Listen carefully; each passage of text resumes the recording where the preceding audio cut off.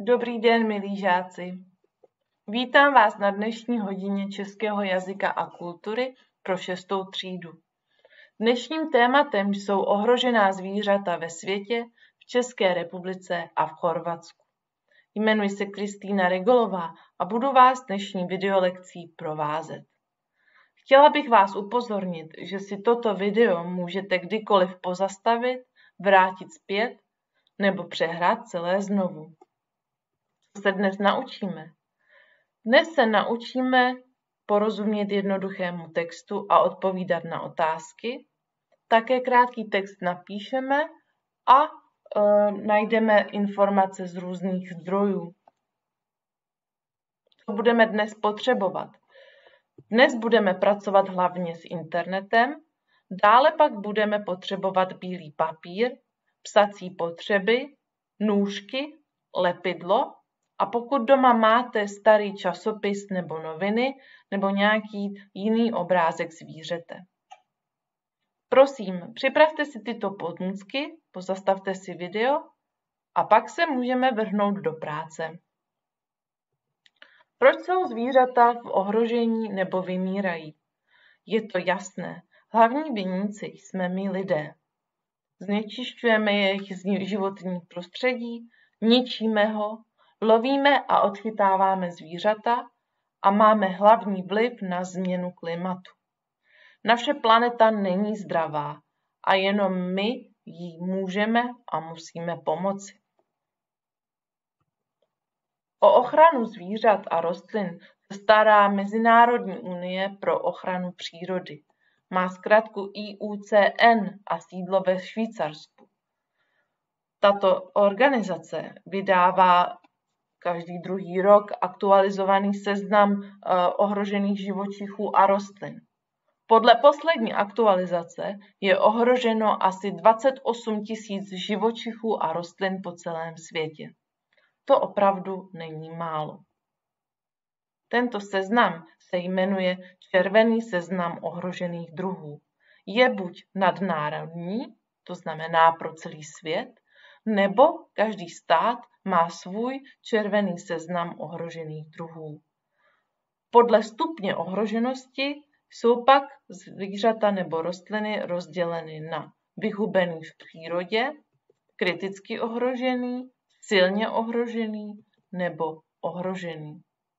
Ohrožený je například otakárek feniklový, to je motýl, kterého můžete vidět na obrázku. Silně ohrožený to už je trochu varování ve větší, je například rys ostrovit. Kriticky ohrožený, to znamená, že jeho stav je velmi vážný, je například živočich panda velká. A bohužel vyhubený v přírodě je například pták blboun nejapný, takzvaný dodo. Toho už bohužel v přírodě nikdy neuvidíte. Tento druh vyhynul. Poznáte tato kriticky ohrožená zvířata ve světě? Co je to za zvíře? Ano, výborně, je to panda velká. Co pak je za zvíře toto? Tento primát. Ano, je to gorila nížina, výborně. A poslední, šelma, Výborně, je to tygr sumaterský. Tato zvířata jsou jakýmsi symboly ohrožených zvířat. Ale jaké jsou to ohrožené druhy zvířat v České republice a v Chorvatsku? Uvedu zde pár příkladů. Jedním z ohrožených druhů je rys ostrovit. Rys je největší evropská kočkovitá šelma. Toto je, zvíře je velmi plaché, takže ho asi v přírodě jen tak neuvidíte, ale je za to velmi krásné.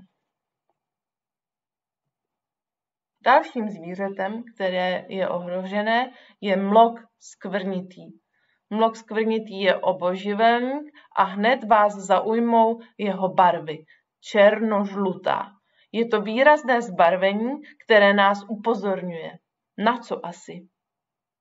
Správně, že na něho nemáme sahat, protože je jedovatý. Mlok na svou obranu používá jed.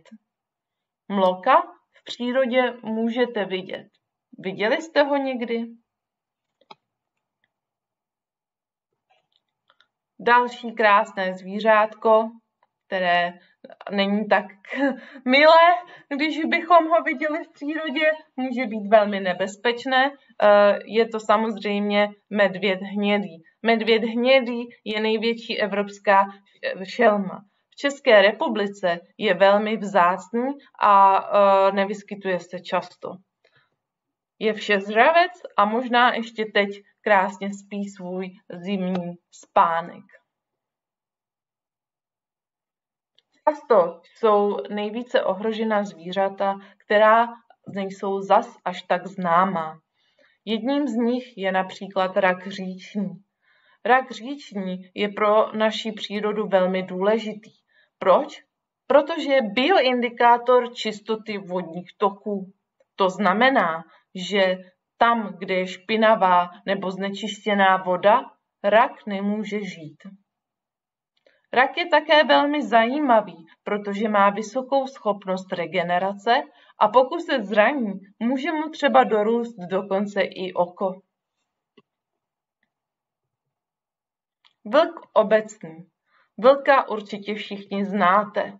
Je to velmi ohrožený druh a vlk je předek psa. To je také velmi známé, je to největší psovitá šelma.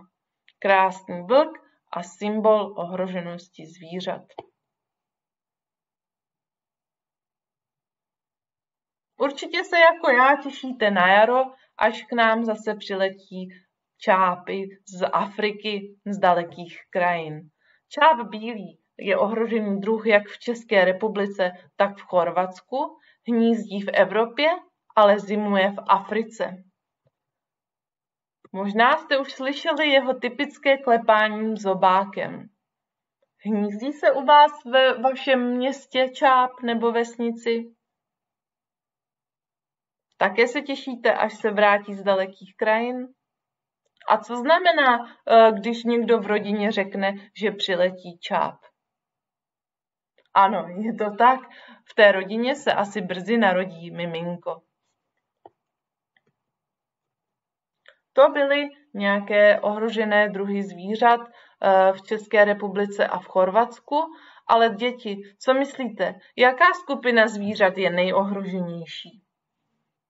Správně, jsou to obojživelníci a plazy. Obojživelníci jsou nejohroženější skupinou živočichů na naší planetě. V České krajině jsou ohroženy všechny druhy obojživelníků a plazů. Poznáte, co to je za hada na obrázku? Je to jediný jedovatý had v České republice. Poznáte ho podle toho černého klikatého pruhu? A jmenuje se? Výborně, je to zmije obecná, jediný jedovatý had v České republice a také je ohrožený. Jak můžeme přírodě pomáhat my? Je to jednoduché. Každý den můžeme pro naši přírodu něco udělat. Šetřete energií a vodou. Recyklujte odpad. Třídíte doma odpad. Papír, plasty, sklo. Jezme více domácí produkty a také kupujme méně zboží. Opravdu se zamyslete nad tím, jestli potřebujete každý rok nový mobil nebo laptop a co doopravdy potřebujete. Můžeme tak přírodě velmi pomoct. Velmi zajímavý projekt vymyslel americký fotograf Joel Sartore. Vymyslel projekt a po celém světě fotografuje divoká a ohrožená zvířata. Nejčastěji teď bohužel už jenom v zoologických zahradách a o jeho projektu se můžete dozvědět více na následujícím odkazu. Mně se velmi líbil jeho citát, když zachraňujeme ohrožená zvířata, zachraňujeme sami sebe. Určitě se na tento odkaz podívejte a poslechněte si více o tomto zajímavém projektu Fotoarcha. A děti, teď jste na řadě vy. Vyrobte si plakát vašeho oblíbeného ohroženého zvířete a zapište si o něm důležité informace. Jak jsem vám na začátku řekla, připravte si bílý papír. Na tento bílý papír si můžete buď vystřihnout obrázek ze starého časopisu nebo novin nějakého oblíbeného ohroženého zvířete, pokud ho najdete. Pokud takovýto obrázek zrovna nemůžete najít, můžete si i to ohrožené zvíře nakreslit. Může to být jedno z těch zvířat, které jsem já uvedla, anebo na internetu pro, najděte uh, vaše oblíbené ohrožené zvíře. A zapište si o něm vše, co o něm potřebujeme vědět. Také se prosím zamyslete nad tím, jak bychom mohli pomoci k ochraně tohoto druhu. Pokud vás toto téma zaujalo, naučte se o něm více. Na těchto odkazech najdete velmi zajímavé informace o, ohrožených zvířatech nebo rostlinách. Určitě zhlédněte video o ohrožených zvířatech a vyřešte kvíz. Je velmi zajímavý a zábavný. Na konci, hodno, na konci hodiny se samozřejmě musíme ohodnotit. Děti, odpovězte si popravdě na tyto otázky. Umíme porozumět jednoduchému textu? Umíme odpovědět na otázky? A umíme napsat krátký text a najít informace o ohrožených zvířatech?